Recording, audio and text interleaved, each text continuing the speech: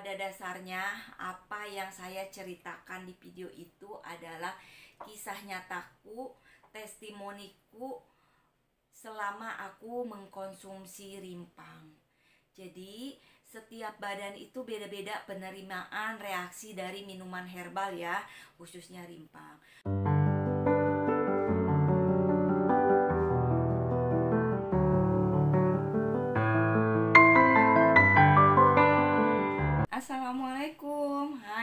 Teman-teman Gimana kabarnya? Semoga dalam keadaan sehat walafiat.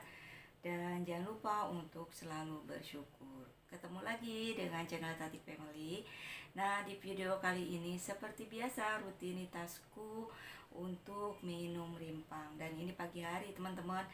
Dan hari ini aku minum rimpang Cuma sendiri ya. Jadi aku langsung bikin di gelas aja. Kebetulan kebetulan e, suamiku nggak minum rimpang hari nah ini rimpangnya udah anget dan ini mau aku saring terlebih dahulu sekalian nanti aku mau bercerita dan menjawab pertanyaan teman onlineku ya yang ada di kolom komentar tapi aku mau racik dulu untuk minuman rimpang ini Nah, untuk minuman rimpang ini banyak banget yang bertanya, katanya bahannya apa aja. Untuk rimpang ini terdiri dari jahe, kunyit, lengkuas, dan serai. Untuk proses pembuatannya bisa diiris, bisa dicopper, bisa di blender, bisa dikeringkan. Nah kebetulan ini aku pakainya yang diiris karena ada stok yang diiris tuh. Jadi ini pakai yang diiris. Nah untuk minuman ini aku racik yaitu pakai jeruk lemon, kalau misalkan teman-teman gak ada jeruk lemon atau jeruk nipis ya sudah tapi sebenarnya sih jeruk nipis banyak banget ya di tukang sayur jual.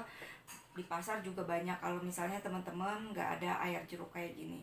Kalau aku nyarinya yang praktis teman-teman kayak gitu. Jadi aku selama ini minumnya yang kayak gini. Dan untuk air jeruknya aku biasa gunakan 2 sampai 3 sendok ya teman-teman. Memang sengaja aku pengen yang asem. Dan ada yang bertanya lagi itu setiap hari minum air jeruk lagi pagi-pagi emang nggak perih di lambung? Jadi teman-teman alhamdulillah semenjak aku minum minum rimpang selama satu tahun dan selalu menggunakan jeruk lemon ataupun jeruk nipis alhamdulillah aman. Nggak pernah terasa perih kembung mual sakit di bagian lambung alhamdulillah. Karena memang menurut dokter Jaidul Akbar untuk penyakit lambung itu bagusnya memang obatnya dengan jeruk nipis ya. Karena lambung kita asam ketika lambung kita dikasih asam khususnya jeruk nipis itu lambung kita akan netral. Dan apa yang dokter Jaidul katakan itu e, betul. Saya merasakan kalau udah minum kayak gini ya air jeruk kayak gitu ketika lambung lagi kumat. Jadi kayak kayak adem gitu loh teman-teman. Kalau bahasa Sundanya kayak rerup gitu ya. Tapi pada dasarnya tergantung ke badan teman-teman juga. Tergantung ke mindset teman-teman juga ya. Jadi kalau teman-teman punya mindsetnya bahwa lambungku nggak cocok dengan jeruk nanti tambah perih lah tambah uh, sakit lah tambah kembung lah ya sudah nggak usah di skip aja teman-teman. Kalau aku alhamdulillah ngikutin saran dokter Jadul Akbar alhamdulillah aman. Karena aku udah Bismillah aja gitu insya Allah dengan wasilahnya ini ini akan sembuh gitu kan. Dan nggak mungkin dokter Jadul Akbar juga ngasih saran asal ngasih saran gitu loh teman-teman. Pasti udah banyak penelitiannya kan. Tapi alhamdulillah aman-aman aja. Dan ini aku kasih garam ya garamnya sejumput aja terus ada yang tanya itu minum rimpang pakai garam apa nggak darah tinggi? Terus gimana yang punya darah tinggi atau hipertensi ya? Sebenarnya sih pakai garamnya memang nggak masalah ya menurut aku ya yang nggak punya darah tinggi.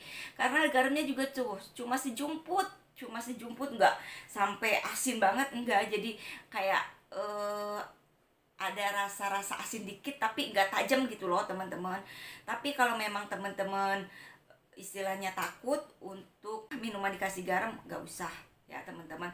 Tapi selama ini alhamdulillah suamiku punya darah tinggi. Kalau minum rimpang pakai garam alhamdulillah aman. Justru nggak pernah lagi kumat teman-teman. Nggak pernah lagi e, darahnya naik lagi. Dulu terakhir darah tingginya itu sampai di 250 250 ke atas deh kalau nggak salah. Kurang dari 280 tapi ya Alhamdulillah semenjak rutin minum rimpang Alhamdulillah belum pernah naik lagi semoga aja nggak sampai terjadi lagi itu si darah tingginya naik lagi ya nah ini aku kasih garam dulu untuk garamnya terserah mau garam Himalaya boleh garam biasa juga boleh tapi memang menurut dokter Jadul Akbar bagusnya pakai garam Himalaya. Kebetulan di rumah aku stok garam Himalaya. Jadi alhamdulillah bisa gunakan pakai garam Himalaya. Terus pakai madu. Nih banyak lagi yang tanya katanya apa wajib pakai pak madu asli?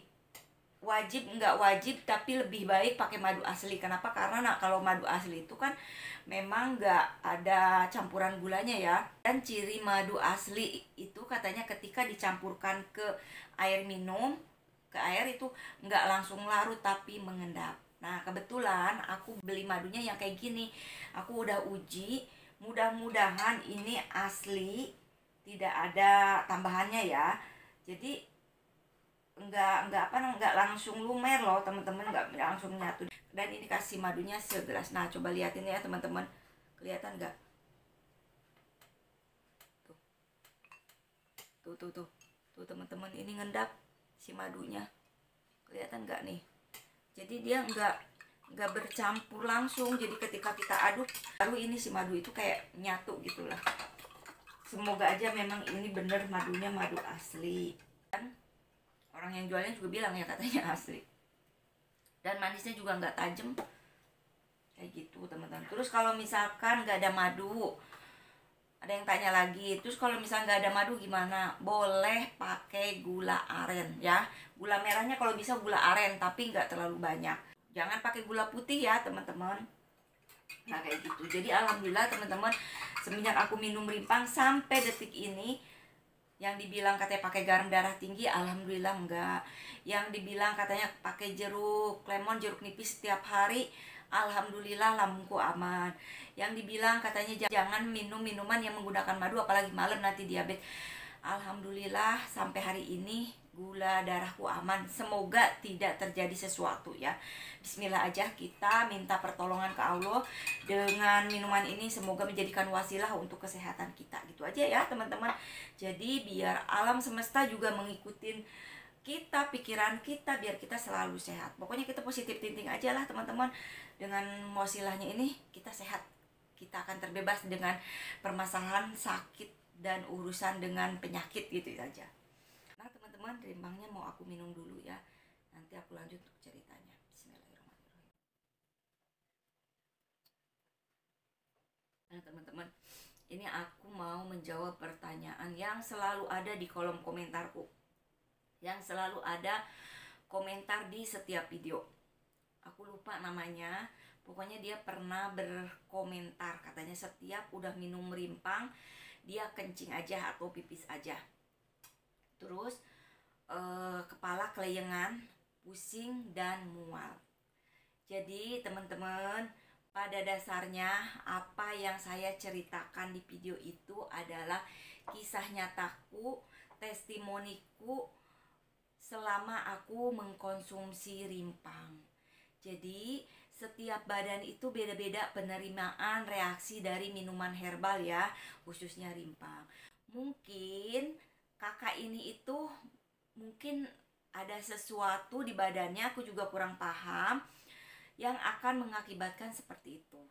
Jadi nggak bisa mengejas bahwa minuman rimpang tidak baik ataupun minuman rimpang bikin pusing dan segala macam.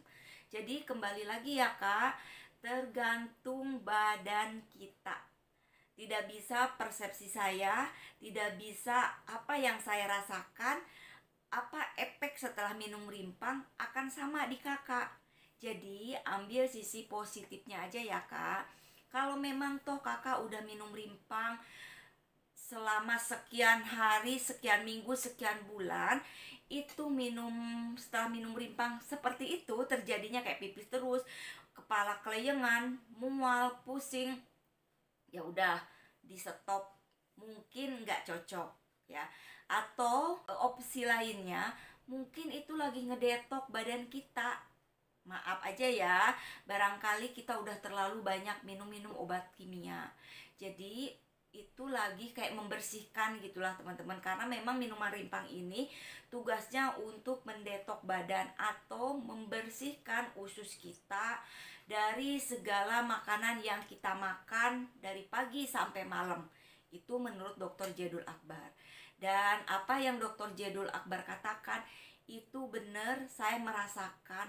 Dan saya alhamdulillah udah dua kali USG itu ususku bersih alhamdulillah. Sebelum sebelumnya kalau USG itu pas di bagian usus kelihatan kan warna-warna kayak hijau kayak gitu hijau lah terus warna kayak putih kayak gitu. Sampai pernah dokternya bilang ususnya kotor bu cewek gitu.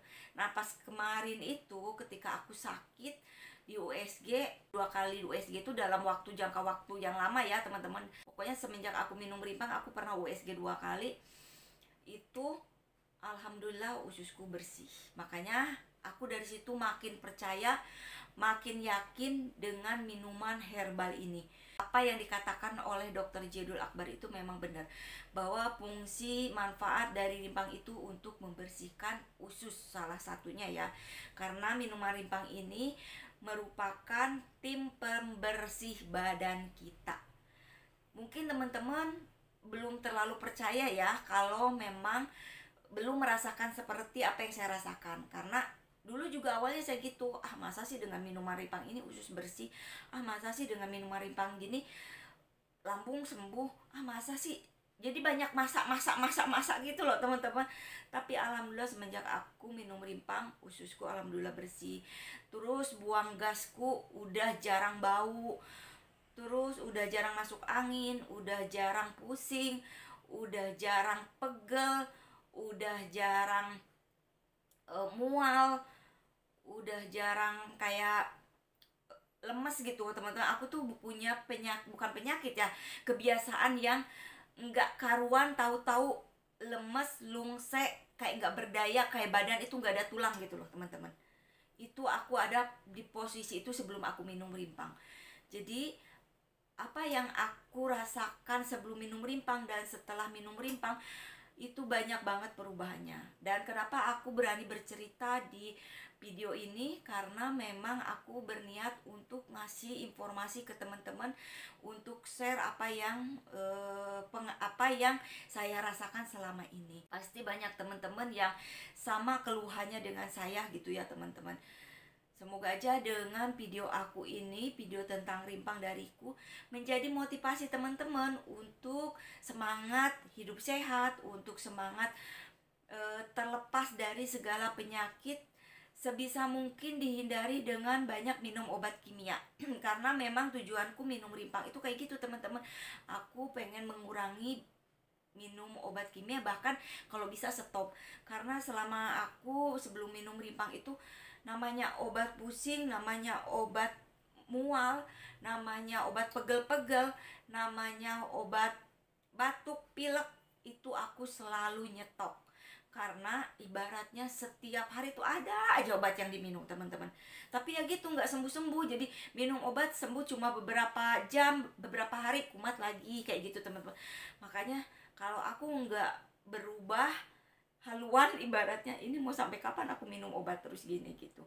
Memang sih alhamdulillah penyakitku nggak parah ya teman-teman. Cuma kan kalau keseringan kebanyakan kita minum obat nanti efeknya juga kan ya ke ginjal ke hati ke empedu ke lambung pokoknya ke badan kita juga pasti ada efeknya ya teman-teman. Jadi makanya aku untuk berusaha untuk stop pengennya gitu. Jadi memang aku masih suka minum obat kimia kalau memang udah nggak bener-bener nggak tahan gitu teman. Misalkan aku pusing selama dua hari atau tiga hari nggak sembuh aku baru minum obat. Obat pusing ya teman-teman. Begitupun lambung kalau misalkan udah lambungnya nggak enak dua hari aku baru minum obat. Tapi selama minum rimpang sama cuka apel udah beberapa kali nggak nggak reda ya baru aku beralih ke obat. Tapi kalau memang udah minum rimpang beberapa jam kemudian ataupun satu hari lah ibaratnya maksimalnya udah enakan ya udah aku nggak minum obat. Kayak gitu teman-teman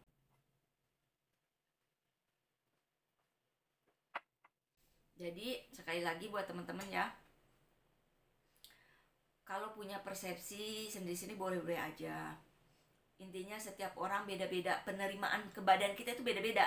Baik obat kimia baik obat herbal itu akan beda-beda gitu ya teman-teman. Jadi kalau memang teman-teman udah minum rimpang malah makin parah penyakitnya ataupun muncul gejala penyakit lain ataupun keluhan yang lain ya udah di stop aja teman-teman kayak gitu ya. Aku bikin video ini bukan berarti harus teman-teman ngikutin aku enggak. Aku cuma sharing teman-teman. Aku sebatas sharing memberikan informasi memberikan sedikit pengalamanku apa yang aku rasakan. Kayak gitu teman-teman. Dan saya juga mohon maaf jika saya ngasih keterangan, saya ngasih testimoni, ngasih penjelasan, ada yang kurang berkenan mohon dimaafkan. Barangkali ada yang aku sampaikan tidak sesuai dengan faktanya mohon dimaafkan. Contoh misalkan aku membahas tentang masalah empedu.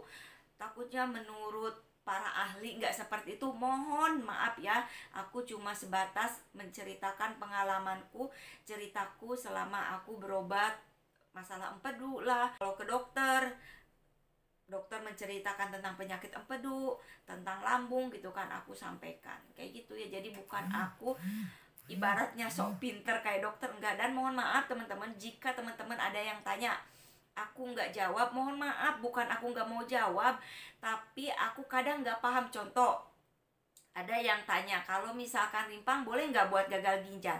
Aku jawab aduh mohon maaf ya aku kurang paham Kenapa aku bilang kayak gitu? Karena aku tidak mengalami, teman-teman. Aku nggak mengalami, nah udah min dalik ya. Aku nggak mengalami tentang gagal ginjal. Jadi aku nggak tahu apakah cocok atau enggak gitu. Karena aku bukan pakar tentang rimpang sebenarnya.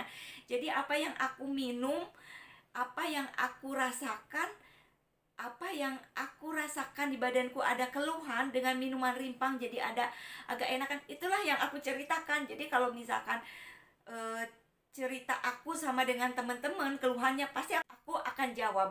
Tapi kalau misalkan uh, keluhan teman-teman tapi di aku nggak ada aku nggak bisa jawab. Takutnya aku salah gitu kan takutnya aku bilang boleh boleh. Tahu taunya ternyata nggak boleh minum minuman herbal. Nanti aku kena disalahkan kan?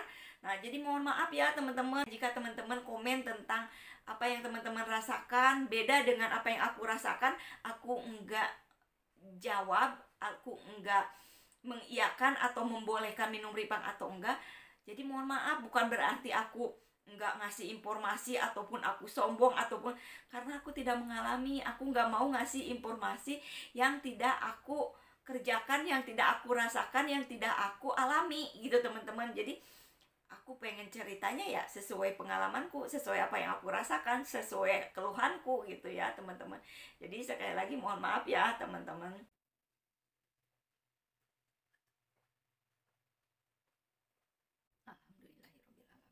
Kalau udah minum rimpang tenang teman-teman. Nah teman-teman mungkin seperti itu ya untuk share video kali ini dan untuk teman-teman yang mau order rimpang, silahkan bisa chat di WA ya. WA-nya ada di deskripsi. Beli rimpang, beli madu, beli cuka apel, beli air lemon itu ada di deskripsi teman-teman. Teman-teman silahkan lihat deskripsinya ada nomor WA, ada link produk. Teman-teman tinggal klik aja nanti langsung diarahkan uh, menuju produknya gitu ya, teman-teman. Nah, teman-teman, mungkin seperti itu ya untuk video kali ini.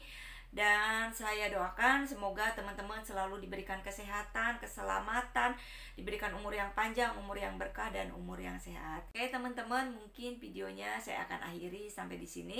Nanti kita ketemu lagi di video berikutnya. Terima kasih. Wassalamualaikum warahmatullahi wabarakatuh.